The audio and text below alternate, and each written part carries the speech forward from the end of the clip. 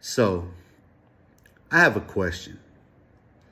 An honest, genuine question. For all of the G's, man, for all of the gangs, gang members on here, an honest question. Whether you're a black or brown gang in California, in Los Angeles County in particular, how many of your sets have someone of the other race in your neighborhood as homies? It's an honest question. I've a- I've asked this question of of of uh, OG Judson Baycott. I've asked this question of Tiny Tim, and we've had conversation about them and you know homies homies uh, in their sections that are that are Chicanos or Hispanics or whatever they want to call themselves.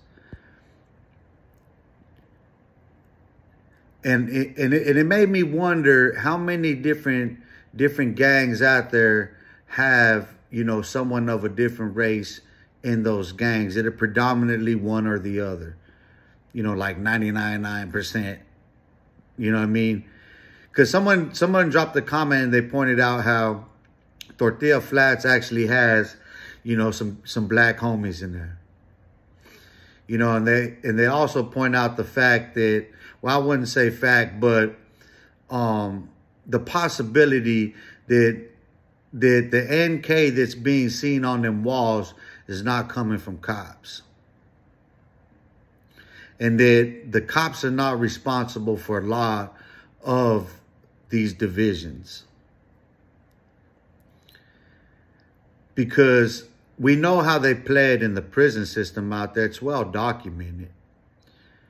In the history of of those prison gangs and whatnot, and you know the alliances that that that exist as they as they are dating back to whenever, as tenuous as they are.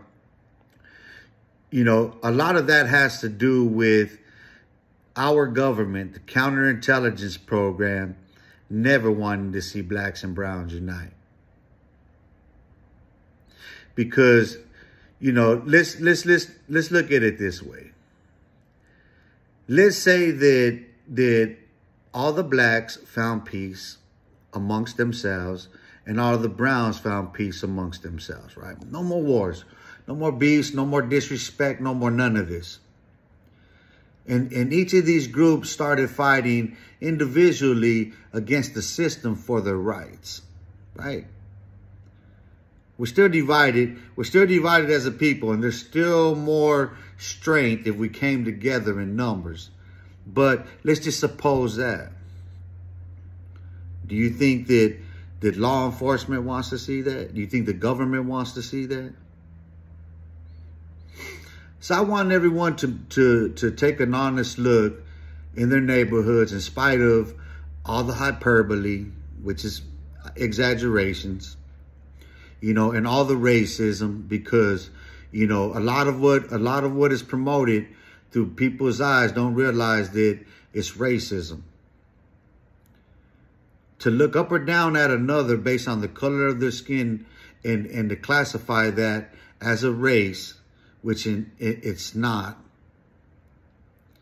Because most of what we're talking about are either nationalities, ethnicity, and or colors that don't even exist, like black and white. There's no such human being, those colors. But people racially identify themselves in that way. So when we look at one another up or down, based on those notions or those ideals and a misunderstanding of the root of the word race and where it comes from historically when we when we when we shed these blinders and we really take a look you know how many how many how many people grew up with you know i mean um there being you know a homie or two that banged the set you know what i mean um, that was of a different race. Right? And, you know, even deeper to look into it, you know, how many, how many, you know, families or whatnot that didn't bang the neighborhood, right? You know what I mean? Existed within these communities.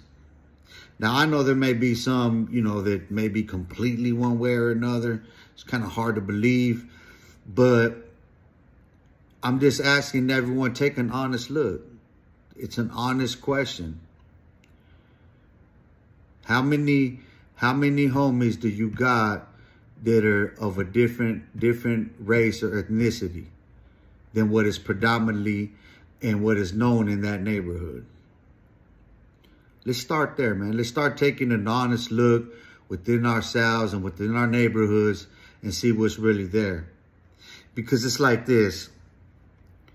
You know, are you going to let someone come in and, and, and, and do damage in your hood? You know what I mean? Regardless.